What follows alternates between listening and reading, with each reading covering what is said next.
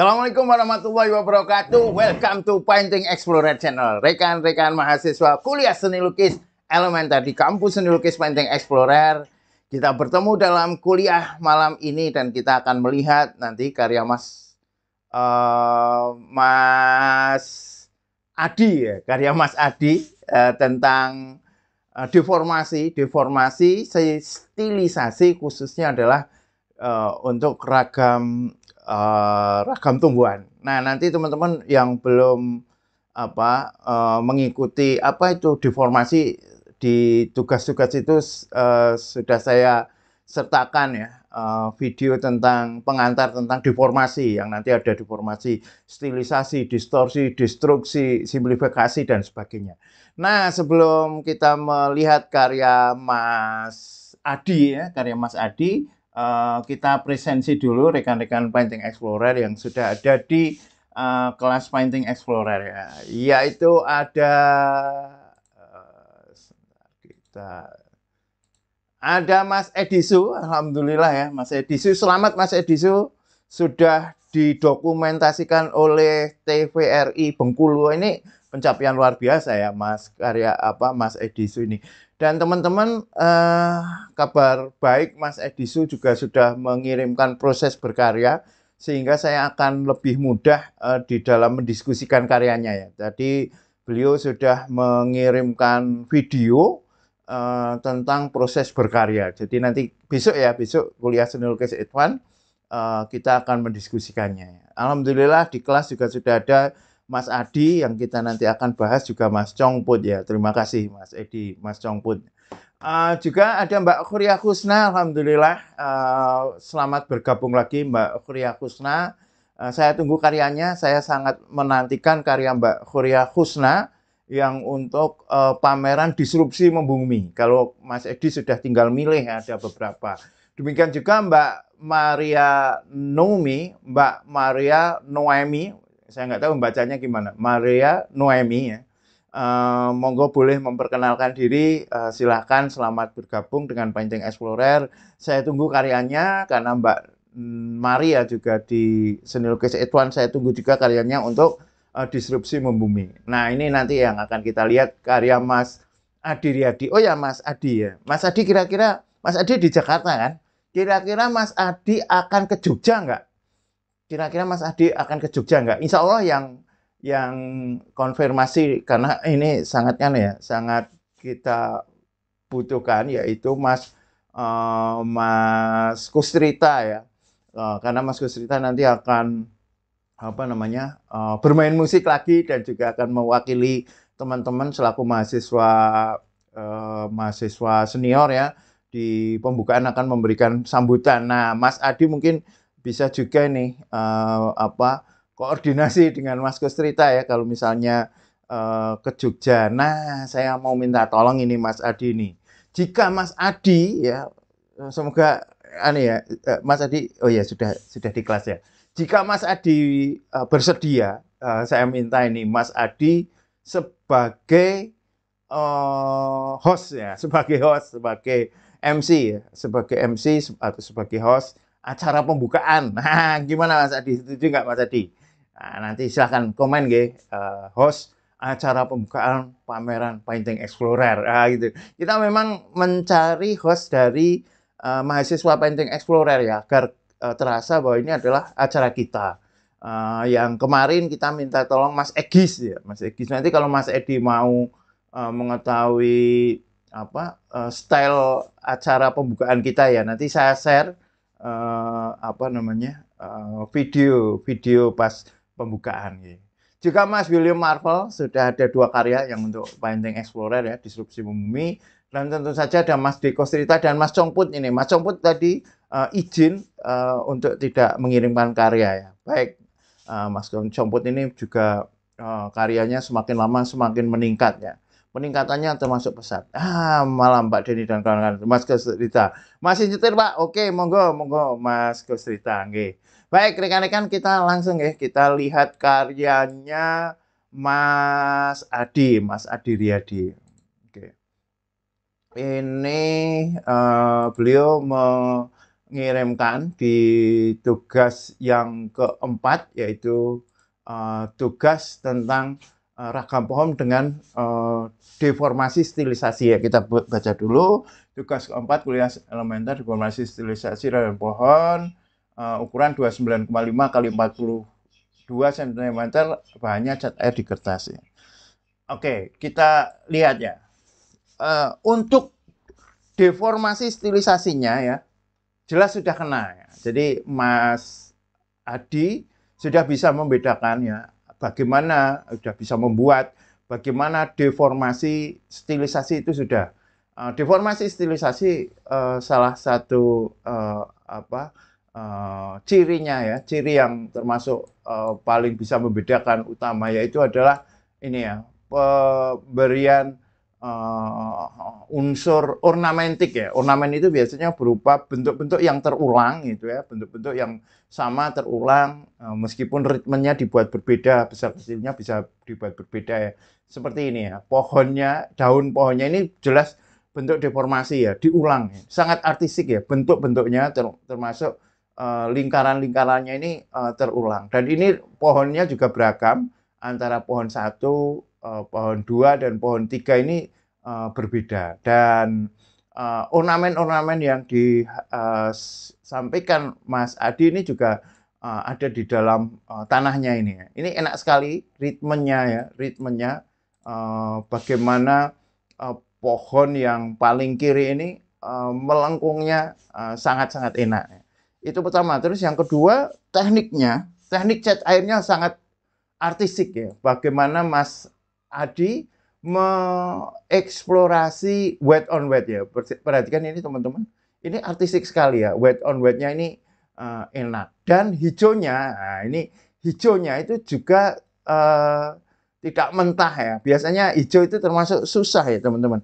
Membuat warna hijau agar matang itu termasuk susah. Nah ini Mas Adi bisa uh, dengan menambahkan beberapa warna kuning uh, lemon maupun warna-warna uh, oranye ya. Jadi warna hijaunya ini uh, termasuk uh, matangnya. Uh, namun demikian teman-teman, nah ini Mas Edi juga sudah hadir ya, alhamdulillah. Uh, Mas Jeko saya minggu depan bikin lagi yang sket dan elementernya, pasti juga yang advance. Oke, okay, Mas Kesrita. Nah, uh, hal yang perlu kita bahas begini, Mas, Mas Adi uh, atau garisnya ya Mas Adi, garisnya ini masih terasa garis sketsa. Masih terasa garis sketsa, belum garis uh, lukisan yang banyak yang bisa banyak dieksplorasi melebihi garis sketsa. Pertama ya, pertama uh, kita masih melihat bentuknya ini uh, lebih ditonjolkan dengan garis, bukan dengan mana ya memang di dalam deformasi uh, deformasi uh, stilisasi itu garis itu uh, termasuk dominan ya. Termasuk kita melihat bentuk-bentuk uh, deformasi stilisasi itu banyak yang menggunakan garis dan itu artistik ya. Namun ketika garisnya ini uh, masih uh, berupa seperti garis sketsa gini ini uh, terasa belum menyatu dengan uh, lukisannya secara keseluruhan. Karena begini. Satu, uh, garis ya ini dibuat dengan warna hitam ya. Warna hitam adalah warna yang paling uh, paling rendah atau paling dalam ya, paling dalam untuk urusan tonalitas, urusan gelap terang, urusan value, urusan tin and shade gitu kan. Kalau tin itu tertinggi putih ya, di sini ada putih. Uh, hitamnya adalah yang paling rendah ya, shade. Nah, sementara jarak antara warna hijau yang paling tua, hijau paling tua, sampai ke hitam itu masih terlalu jauh. Sehingga hitam terasa lepas, ya. hitamnya terasa lepas. Uh, banyak pelukis menghindari, termasuk saya ya, uh, cenderung menghindari warna hitam atau kalau toh memakai warna hitam ya kecuali eh, eh, seni-seni uh, ini ya seni-seni pop art itu banyak ya mengeksplorasi. Tapi kalau seni-seni yang cenderung realistik cenderung menggunakan warna-warna matang seperti ini itu hitam cenderung di uh, dihindari. Atau kalau mau menggunakan warna hitam itu mau masuk warna hitamnya itu sangat berhati-hati ya. Kalau misalnya sebelum sampai ke hitam itu dia sang seniman itu biasanya um, gradasinya sangat sangat halus, sangat lembut, sangat uh, berlapis hingga sampai ke warna hitam.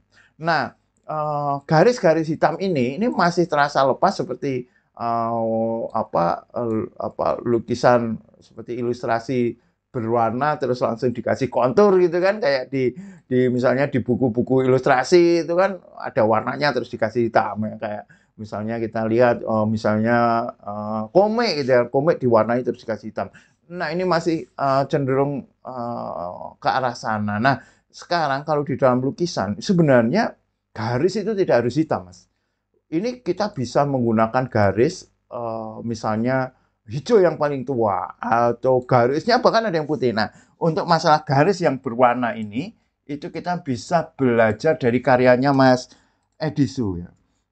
Uh, Mas Ed uh, di kuliah seni lukis Edwan. Mas Edisu ini sangat piawai di dalam menggunakan uh, garis ya. Garis ya memasukkan unsur garis di dalam karyanya itu eh, sangat variatif. Nah, kita lihat ya. Uh, nah, semoga langsung dapat uh, ini pak ya. Yang paling eksploratif masalah garis. Uh, belum sebelum ini berarti sebelum ini uh, bukan uh, nah nah ini mungkin nah ini yang ada garis hitamnya baik nah ini nih mungkin ini uh, unsur-unsur garisnya oke nah ini teman-teman uh, tapi ada lebih lagi ya, lebih terasa garisnya ya. Terasa garisnya dan garisnya itu eh, benar-benar bervariasi ya, tidak hanya hitam. Nah, saya carikan.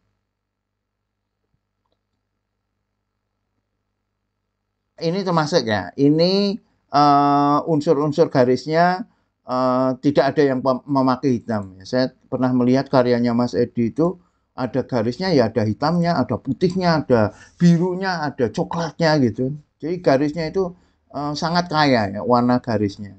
Nah ini ya mungkin ya ini ya uh, oke okay lah ini ini uh, lumayan lah ini bisa kita pakai ini. Nah ini.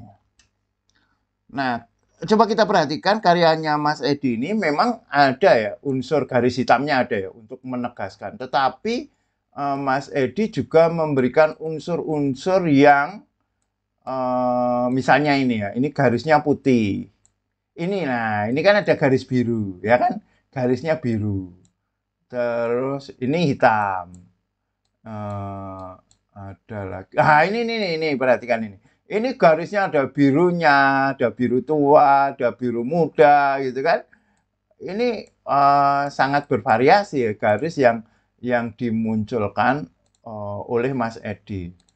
Uh, sehingga tidak seperti uh, garis di dalam sketsa. Kalau garis di dalam sketsa kan uh, cuma hitam ya, tidak sekedar uh, apa lukisan terus dikontur gitu aja bukan ya. Tetapi memang garis menjadi bagian dari uh, unsur artistik itu sendiri. Hmm, nah ini ini ini ini malah banyak Eh, warna-warna uh, lain ini di garisnya ya. Nah, ini. Wow, ini malah macam-macam ya. Ini memang garis yang terbuat dengan sendirinya maupun garis yang ditambahkan. Nah, ini misalnya. Ini kan wah, ini kan garisnya ya. Uh, ini bukan hitam ini. Hijau tua, kemudian ketemu hijau muda. Ah, kan gitu kan. Di sini ada garis yang uh, cenderung putih. Nah, ini kan uh, uh, dinamika garisnya akan Eh, menjadi semakin beragam. Garis yang cenderung warna terang, nah, gitu. Nah, untuk itu garis-garis di sini ini bisa bisa diperkaya ya, bisa uh, dibuat lebih kaya lagi.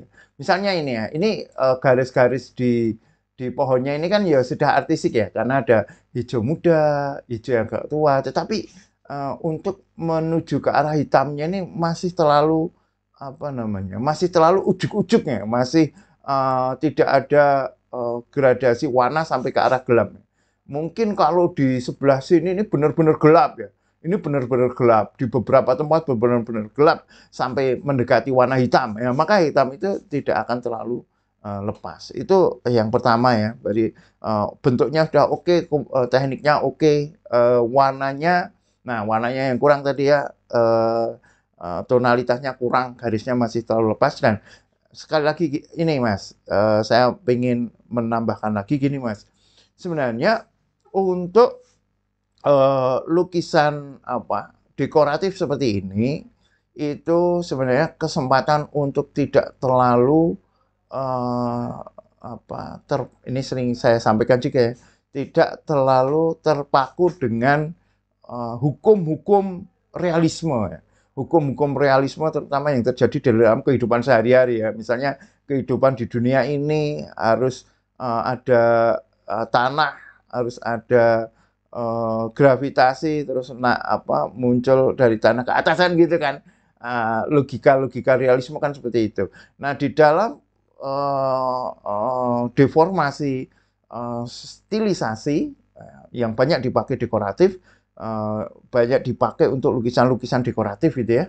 Itu uh, logika realisme seperti itu sering tidak lagi uh, dipakai.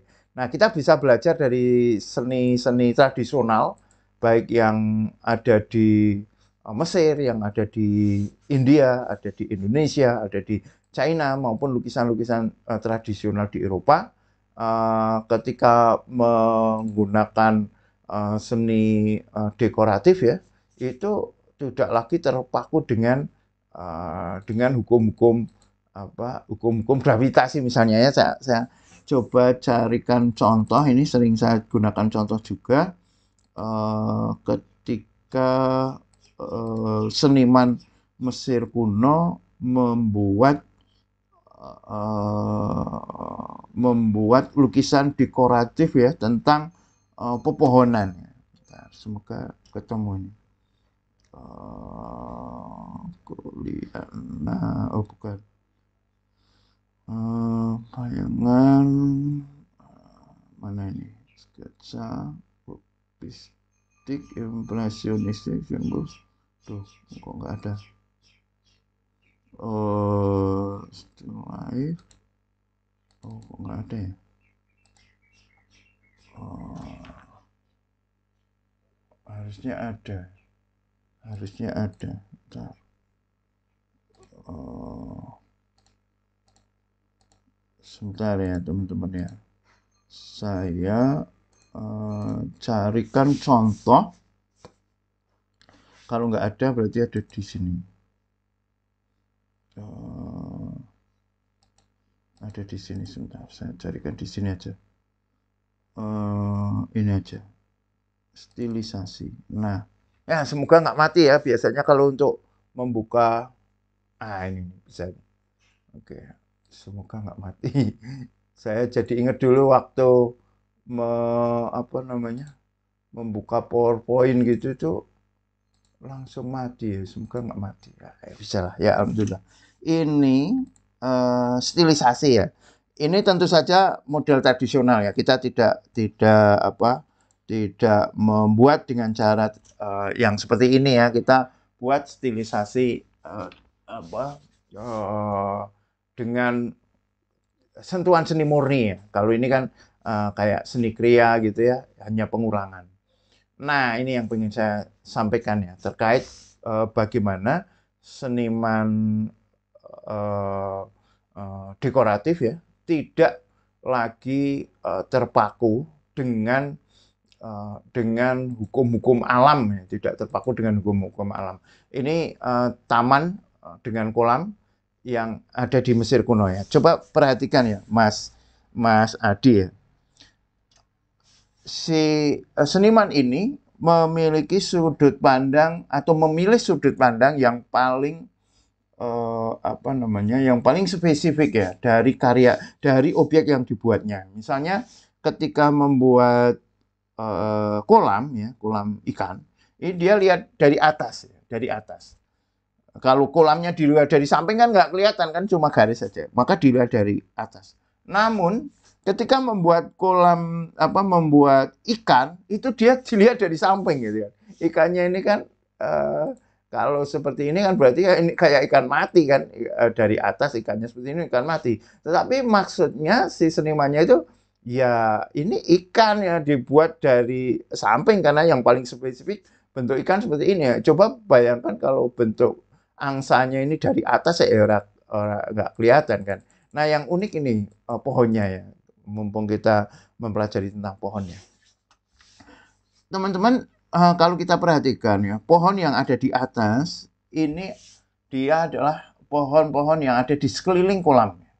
Pohon yang ada di sekeliling kolam, maka dia uh, batangnya ini, akarnya ini menempel di kolam ya, karena uh, dia ada di sekeliling kolam. Tetapi yang ada di sebelah kiri kita ya, di sebelah kiri, itu pohonnya ini bukan berarti pohon ambruk ya.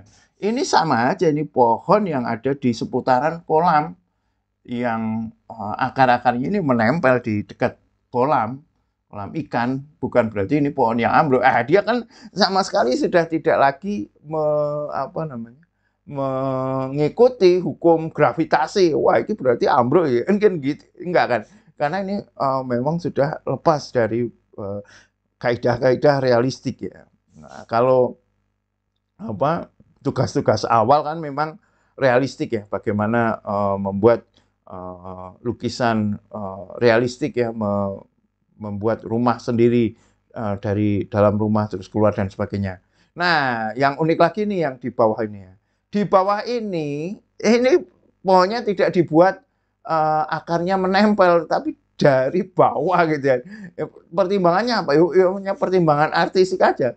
Kalau dari uh, sini mungkin nanti malah kurang menarik ya, kurang menarik, uh, malah jadi malah ambruk itu ya meskipun di sini juga bisa dimaknai ambruk. Tetapi yang menarik adalah uh, mindset seniman ini tidak lagi terpaku pada bentuk-bentuk realistik ya. Dan ini tidak kita dapati cara kerja yang seperti ini pada seniman modern ya, seniman modern dari barat, seniman modern dari barat terutama setelah Renaissance dan ditemukan uh, perspektif.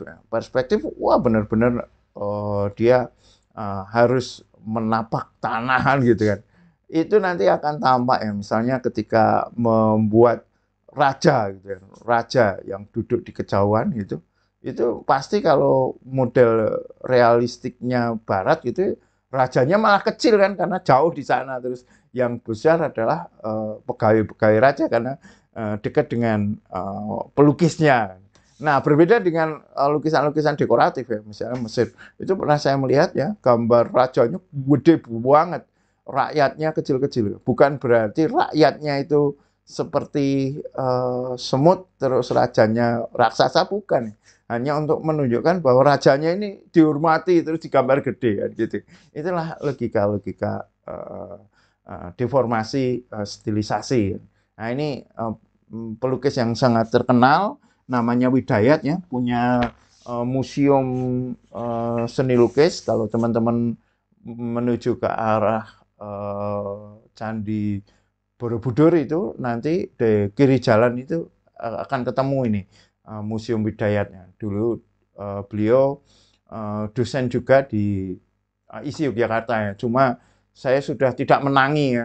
Dia sudah pensiun, saya baru uh, kuliah. Nah, karyanya ini juga uh, apa realistik. Nah, ini yang saya sebutkan tadi, Mas Adi ya. Uh, meskipun kok karyanya karyanya deformasi ya. Ada yang mengatakan deformasi stilisasi, ada yang mengatakan dia dekora magis. Ya. Dekora magis itu antara dekoratif dan magis ya, dekora magis. Nah, kita perhatikan ini Mas. Ini mes, uh, meskipun dia uh, warnanya cenderung monokrom, tetapi di dalamnya penuh uh, warna-warni dan kita lihat ya, eh, tonalitas warnanya, gelap terang warnanya sangat berani. Maka ketika dia membuat warna yang sangat gelap mendekati hitam atau bahkan hitam, itu tidak begitu terasa karena banyak sekali uh, warna-warna atau bidang-bidang lain yang uh, sudah ke arah gelap. Jadi tidak sekedar tampak di garis kan gitu kan. Nah, itu uh, Mas uh, Adi uh, Adi uh, untuk karya ini ya.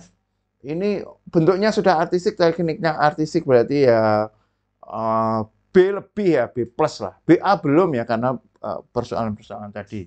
Ya, B plus atau B plus plus ya, B plus plus karena teknik dan uh, komposisinya juga enak. Ini. B plus plus. Uh, plus yang tinggi. Uh, 71. 71. Oke. Oke, uh, teman-teman, adakah yang lain yang mengirimkan? Tadi saya cek di notifikasi yang mengirimkan hanya Mas Adi. Uh, saya cek lagi ya. Apakah teman-teman uh, lain ada yang mengirimkan karya? Uh, jika belum, uh, saya tunggu ya teman-teman yang lain yang belum berkarya, ya terutama bisa konsentrasi pada uh, karya untuk pameran kita disrupsi membumi. Uh, sekali lagi Mas Adi gimana siap nggak? Jadi kalau ke Jogja ya, kalau pas pembukaan ke Jogja saya minta tolong jadi MC pembawa acara, hostnya Painting Explorer. Terima kasih masukannya Pak izin nanti saya info lagi untuk keperluan kecil. Oke, baik, baik, nggih. Baik, uh, tapi jangan dipaksakan ya kalau memang uh, tidak bisa, kalau memang ada uh, kesibukan ya jangan ya. Kalau maksudnya kalau uh, kalau uh, pas pembukaan ingin ke Jogja ya uh, saya minta tolong Mas Adi menjadi MC, ya. tetapi kalau memang ada kesibukan lain uh, tidak juga tidak apa-apa ya, tidak tidak apa-apa, tapi usahakan yang penting karyanya, ya, karyanya ikut dipamerkan. Baik, rekan-rekan Painting Explorer Channel, uh, terima kasih sudah mengikuti kuliah ini sampai akhir.